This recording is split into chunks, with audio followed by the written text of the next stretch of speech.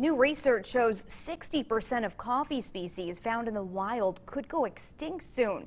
Researchers in the UK warn climate change, deforestation, droughts, and plant diseases are putting the future of coffee at risk. Out of 124 types of wild coffee, 75 are at risk of extinction. About 35 of the 124 species grown in areas with no conservation protections. The most popular kind of coffee for commercial production, Arabica, is already on the endangered species list. Oh no. I heard that they really have a plan for this already. They do? And, yeah, and, Okay. and things are going to be to replace. Don't worry, coffee drinkers. That's what I heard.